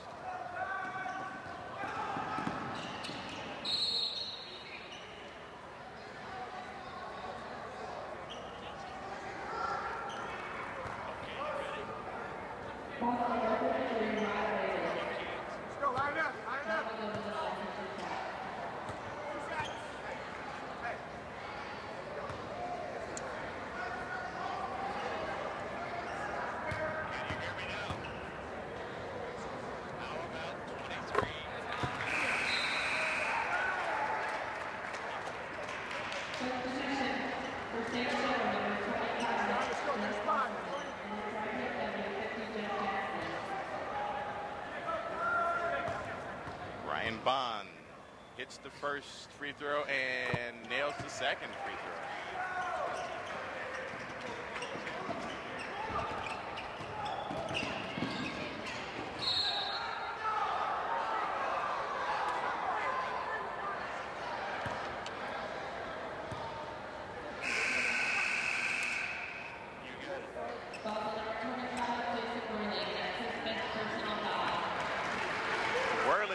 out of the basketball game after a very good ball game. Uh, hit a very key three-point jump shot with the game on the line that kind of shifted the tilt of this basketball game, Dave. Played some good defense along the line too, Charlie. That uh, kind of thing you don't see much of.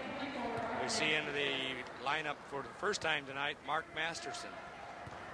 Mark, a uh, walk-on played on my intramural team uh, last year. Jeff Jackson, also a former intramural teammate of mine. Hate to lose those guys because we're struggling this year on the intramural squad, Dave. Well, and Mark is, a, is an interesting young man also. 26 years old. Actually, I think a little older than that. 28 maybe? Yeah, 28, All right. 29. All right. And a good ball player. So with 55 seconds, we have a 78-65 game. Very dangerous pass. Masterson goes up and is fouled. He was hammered. And he'll get a chance to get on the scoreboard. Yes, he will. And you have to give this guy all kinds of credit. It's very hard to walk on at, at any uh, level of sporting events, but to come in at this level of basketball um, at 29 years of age and walk on. And I, like I said, I played intramural basketball with the kid, and he can play. And add to that, that at a tough part of the season, Oh, about yeah. December, he had, a, he had an injury that uh, sidelined him for three or four weeks. Very popular with his teammates. Hard-working kid. And I'm glad his fortunes have uh, turned out uh, this good for him, but I love to have him on my intramural team. Well, you may have to negotiate with Coach Piazza on that one. Davis, nice move. Nice jumper from the paint. Too little, too late, I believe, though. Let's hope.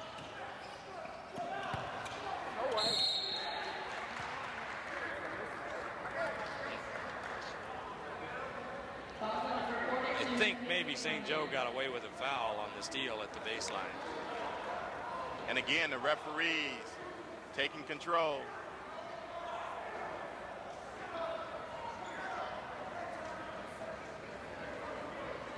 Officials having a hard time uh, keeping this one under control. I'm not sure what that call was, whether it was a, a double taunting foul or Well, I think it was just a basic fifth foul call on uh, Runyon. KC. So he's replaced by Jason Burke. Big country. Number 21, Brian Phillips. 6'2 sophomore going to the line. He's a load, 6'2", and I'm not even going to look down on the sheet because I don't think they'd be telling the truth. He's a Uh, load. yeah, you're right. They don't have the weight, but I'd say it's at least uh, maybe 230. He's solid.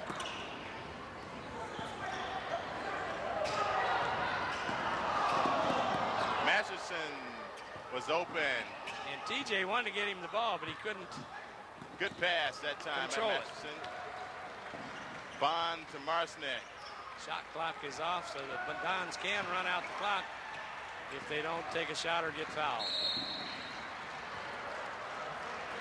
And number 25, Jeff Susserman. Yes.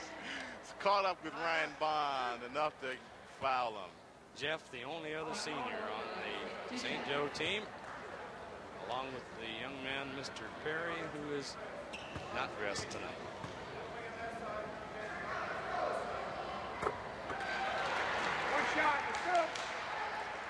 And another contribution from Ryan Bond. Very solid performance here tonight.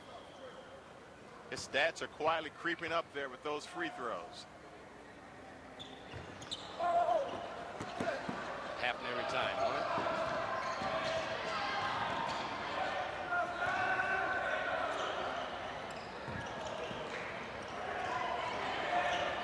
Oh my.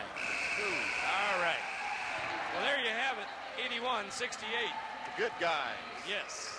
And we'll get down and uh, have a little conversation with our players of the game. A very good group effort um, for the Mastodons tonight, Dave.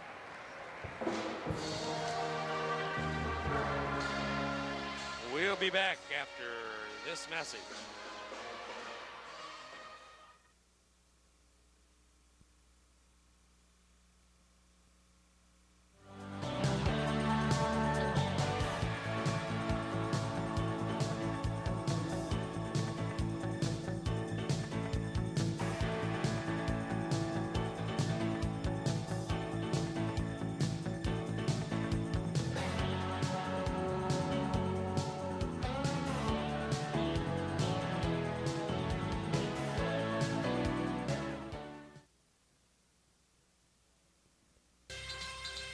IPFW women's basketball coach Pam Bowden is enjoying a fine preseason after coming to IPFW from the University of Alaska Anchorage. She has inherited a club which returns no seniors but still enjoys one of the top ratings in the Great Lakes Valley Conference. We want you to tune in every Wednesday at 7:30 to find out more information about the IPFW women's basketball team all season long.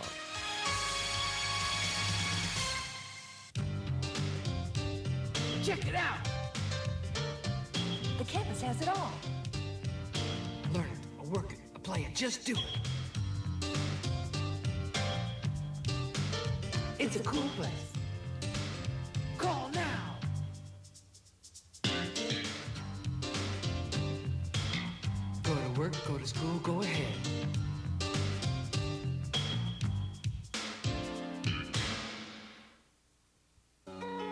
Talk about unusual. How often do you see transparent televisions? Americans have more money to spend on leisure activities than ever before. When possible, children should trick or treat during daylight hours and be accompanied by at least one adult. A boat, archaeologists believe, is from the time Jesus and his disciples fished on the Galilee. For best results, fertilize your lawn when it is actively growing. Many people suffer from allergies. Few understand them. The college basketball season is underway for 1994-95, and the Great Lakes Valley Conference has been rated by some as the toughest of the NCAA Division II conferences. Join Coach Andy Piazza and me, Matt DeLong, to get a closer look at the IPFW team and this year's competition.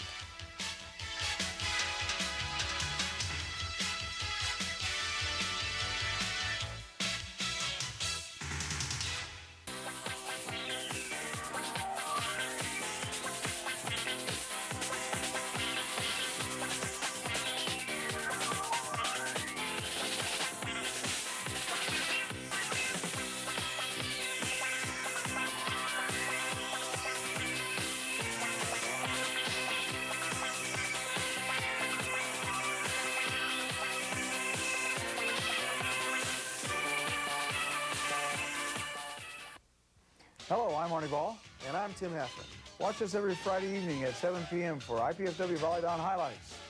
We'll also describe strategies and fundamentals for all you new volleyball fans. We, we may even invite a volleyball or two to join us on the show, so tune in to us every Friday night at 7 p.m. here on Channel 6.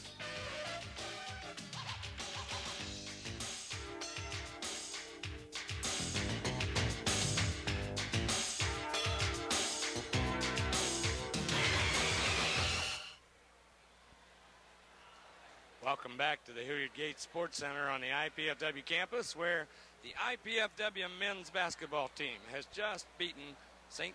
Joseph College, the Great Lakes Valley Conference foe. Final score 81 68. We now invite you to go down to the floor as Charlie Washington chats with four Dandy Don players of the game.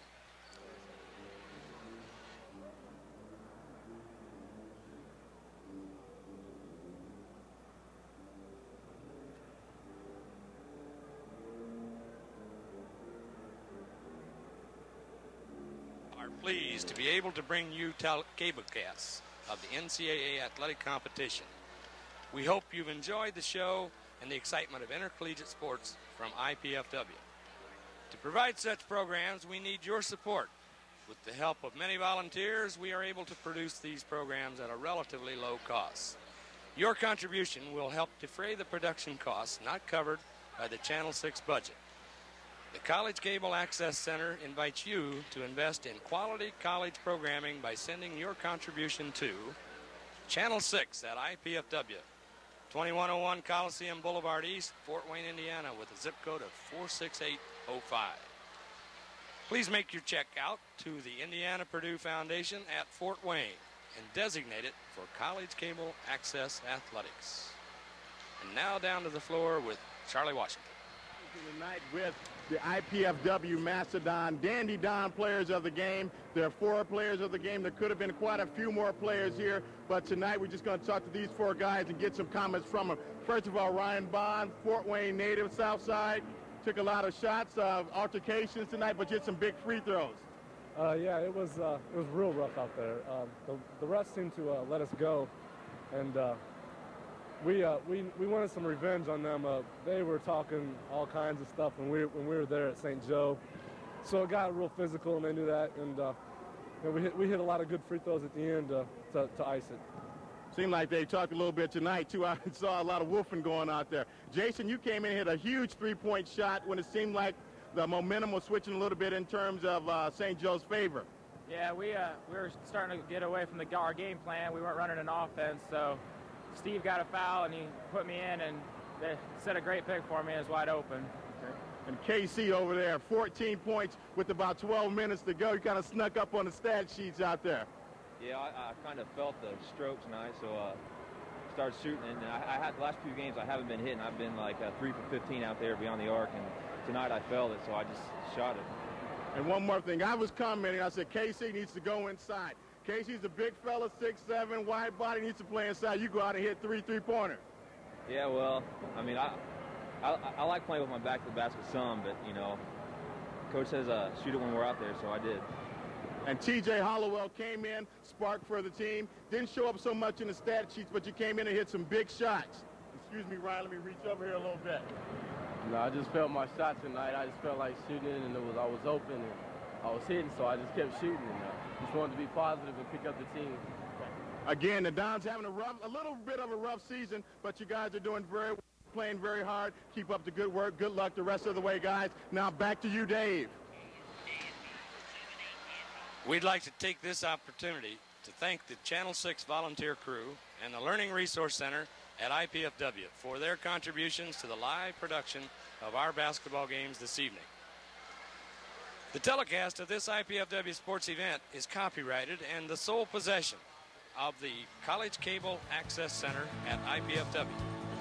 Unauthorized duplication, exhibition, retransmission, rebroadcast, or other use of this event without express written consent is strictly prohibited.